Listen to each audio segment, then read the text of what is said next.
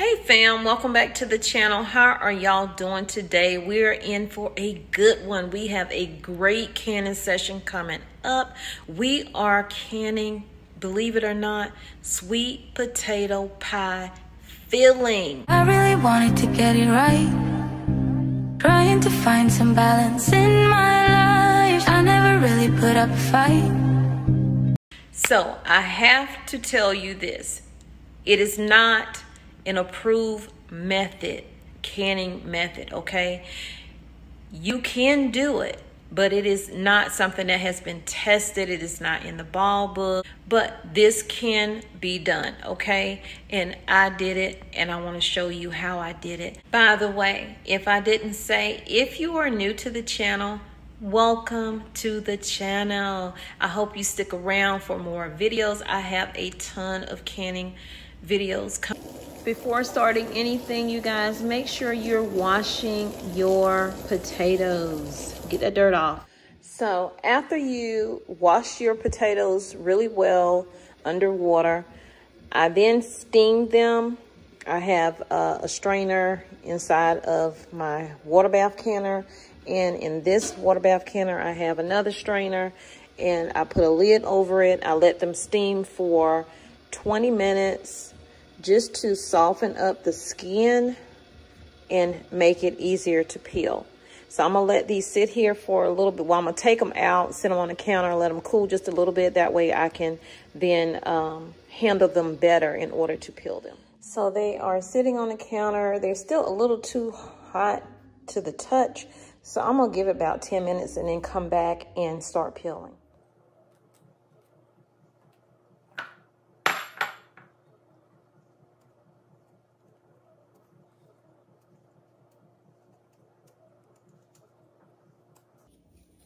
Some of them were a little bit harder than others to get the peel off, but I didn't want to leave them in the steamer any longer than that. And also, um, once you're peeling it, you see the layer underneath the skin. You want to get that off as well. That's going to be a lot of your stringy situations um, once you get to actually blending this up. So next you want to slice your sweet potato in half then you're going to cube them up.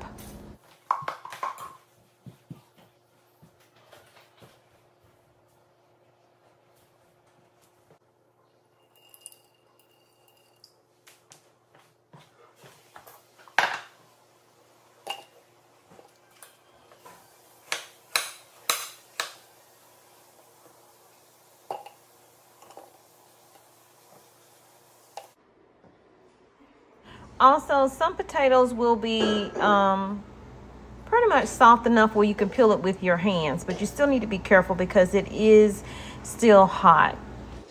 Potatoes are not cooked all the way through. This is just you're steaming them so it's easier for the peeling to come off. And y'all have um, a bad back. I'm going to therapy for it now, so I had to get my bench and continue to do this sitting down. So I apologize for that once you chop up all your potatoes, your sweet potatoes, and put them in your crock pot or whatever you're going to use, do not add any of your spices as of yet.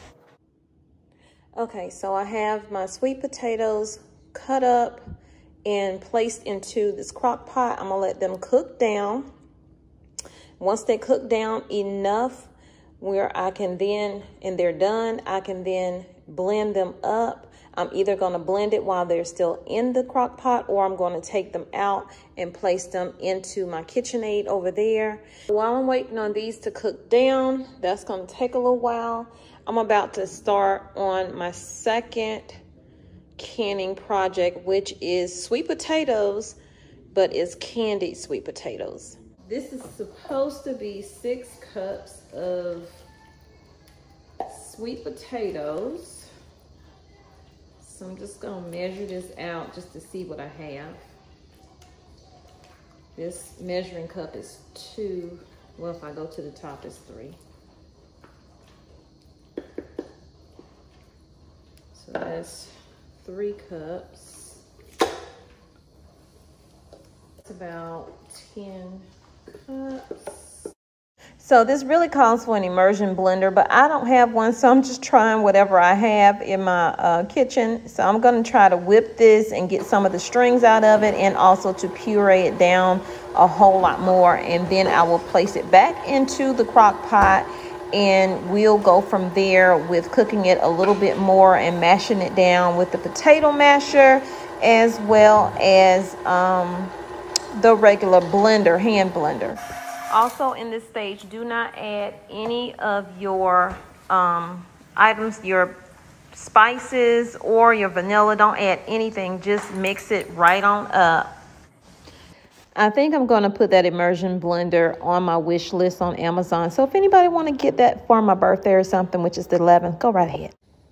Okay, so we are going to be adding cane sugar, brown sugar, cinnamon and nutmeg and vanilla.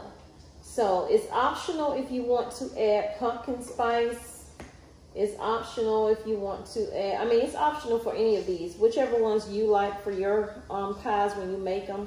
Um, this is ground allspice and this is cinnamon. So I will be using cinnamon, I will be using nutmeg and vanilla. So I'm gonna put it in, then I'm gonna taste it see if I, you know, want to add more. With the cane sugar, you're going to be doing one cup, because you, if you have six cups of um, sweet potatoes, as you saw, I had about 10 cups of um, sweet potatoes. So I will be adding more sugar to it, but I'm gonna sweeten mine to taste, but I'm gonna start off with one cup of the uh, white cane sugar and then two cups of the brown sugar. And you saw me make the light brown sugar. Packet just loosely. We're gonna do two cups of light brown sugar. And this is fresh brown sugar, so it's gonna have that nice molasses taste to it. We're going to do one cup of the um, cane sugar, but we want to see what it tastes like. So let's go ahead and add our brown cinnamon. One tablespoon. And one tablespoon of the nutmeg. That's nutmeg. Mmm. Smells like holiday. And you don't add any of your milk, your butter, you don't add any of that or your salt until you actually get ready to pull the pie filling off the shelf and you're about to make your pie. Then you'll add those items to it. So we're gonna do one good old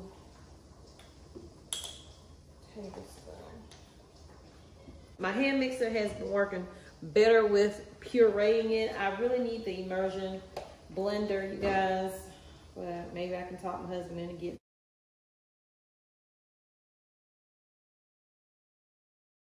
Ooh, that smells good.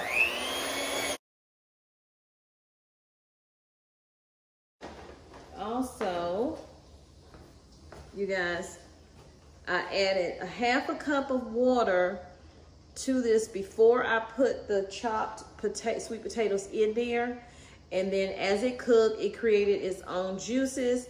But I also, when I put this back from the blender, well, from the mixer back in here, because it wasn't working with that mixer, I added another half cup. So you're gonna do one full cup of water, but you're gonna do half in the beginning just to create your steam. And then you're gonna do half once you start blending it up.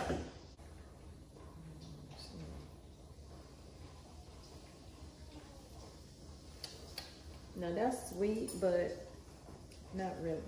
So because I only did one cup of the cane, I do have more potatoes than the recipe said So all in all, I did two and a half cups of the cane sugar.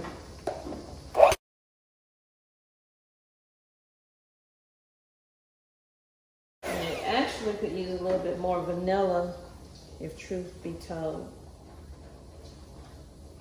So I'm gonna add a little bit more vanilla. So that'll probably be one and a half. Okay, so let's let it cook a little bit more. Okay, you guys, turn this off, that off. Have my jars heating up in here for my uh, sweet potato pie filling.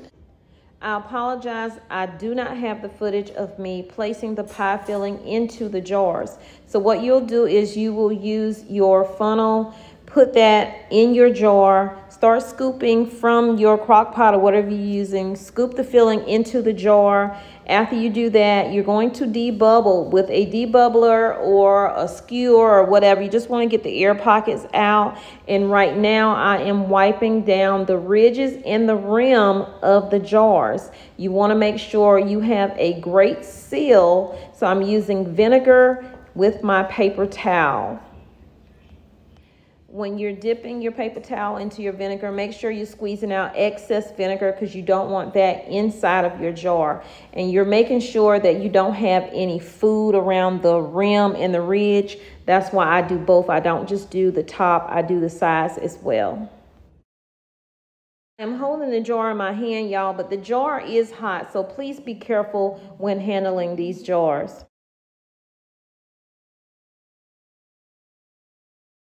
So now it's time for you to get your lids on. So you can do them with your hands if they're not hot, or you can use your debubbler that I'm using and just place them on top of your jars. And then once you get those all on, you're going to add your rings. When placing your rings on, make sure that they are fingertip tight. And I'm going to show you where my headspace is that I use. I filled my jars to right below the one inch head space. I got that tip from the Kneady Homesteader. So we're almost ready to place our jars into the canner. Make sure you have your canner already warming up, not boiling, but just warming. Now it's time to place your jars into the canner. I was using my hand because although the jars were hot, they weren't too hot where I could not touch them. Otherwise, use your jar lifter to place your jars into your canner. And in my canner, I have about two inches of water. Do whatever your canner calls for. And I also added the extra vinegar that I used to wipe my tops with. I just poured it over into the canner and that will keep your jars from looking funky. Now that it's time to put your lid on, make sure that it is nice and lubed up. I always lube my, lube it, I'm sorry. I always grease my um, gasket, the black piece, and around the top of the canner itself just to make sure it's easily going on and off and I don't have an issue with it. But I also check the screw underneath my um, the dial gauge because sometimes that can come loose and you will just make sure it's working properly. So once your lid is on, turn the fire up or whatever you're using, turn it up, bring it to a boil. So we are currently at a full steam out of the vent. So now we're going to set our timer for 10 minutes and let this vent out for 10 minutes. Once it's done venting out, you do the same thing. You, you come back, you get ready to put your regulator on or your weight, whatever you're using, pressure canning session. Again, I am doing pint-sized jars. I'm at elevation over a thousand, so mine is at 11. Check your local extension for what you need to pressure can your um, sweet potatoes at. Okay? So now you're to turn your timer off. The 10 minutes has vented. And just place that on top. The pressure is going to start building up in there. Once it gets to my 11 PSI and whatever it is for you, where you are, then you turn your timer back on. And because you're doing pints, you're going to be doing you're going to be doing 75 minutes. This is an approved method of canning. This is a tested method of canning right here. Okay? my pie filling, sweet potato pie filling, is not an approved method. This is just rebel canning. Now, doesn't mean you can't do it, but what it does mean is the one thing I won't compromise on doing is how long I'm going to can it for. Always keep the same time that your canning book calls for. Okay? So these called for 75 minutes for pint. I'm doing these 75 minutes because they're pints. I've seen some people water bath can theirs. I would not take that kind of risk ever. So we're almost at our level of 11.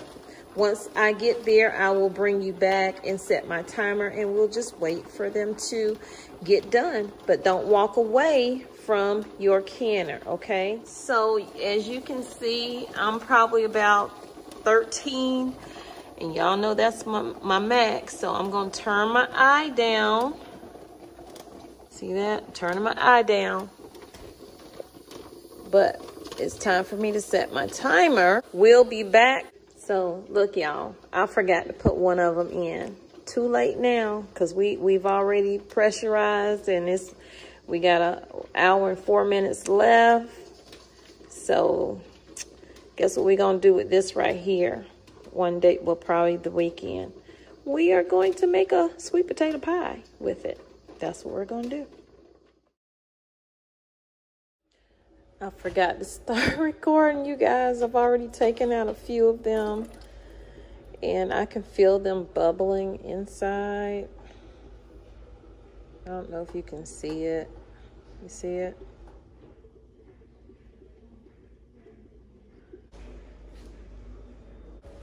Oh, I'd be so nervous. I'm going to drop it. So this is two, four, six, eight.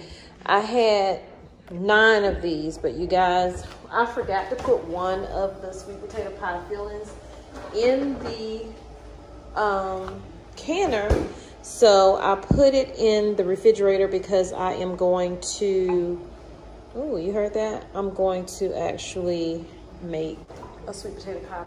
So I got nine, okay, I had 15 pounds of sweet potatoes. I originally bought two bags from Sam's Club. They were um, about $5 and some change, and they were five pounds. So I said, well, I need, I want to just do both. So I went back to Sam's, got another one, and that made 15. So you guys, this is saving so much money. $15 and I got all of these jars of food to go on my shelf just in case you know, we don't have power, we don't have this or that. I can still bake even if I don't have power because I have propane and I can still use my oven. But this is something you need to think about doing in order to save money because food is continuing to go up. It's becoming even more scarce. And I hope you enjoyed this video. Let me know if you're going to try this recipe and I'll see you guys in the next video. So what I'm going to do is let these cool overnight. In the morning, I will wash them down with nice soapy water, take the rings off, dry them off, label them, and store them on my shelf. And I know most of you come here and you watch, you know, the stories that I tell you about the news, that's what's going on in the world. But guys, this is showing you that you can store your food. You can create a food pantry. These videos are just as important as those news videos because I'm showing you how you can create food security in your home. Haven't even put this stuff up yet. Okay, I got to put another storage shelf down in my pantry. I forgot to mention that one pint size is supposed to make you two nine inch pies or one deep dish pie. So I forgot to record me making these pies from that jar that I forgot to can up. But guys, this tastes so good. Check the description below.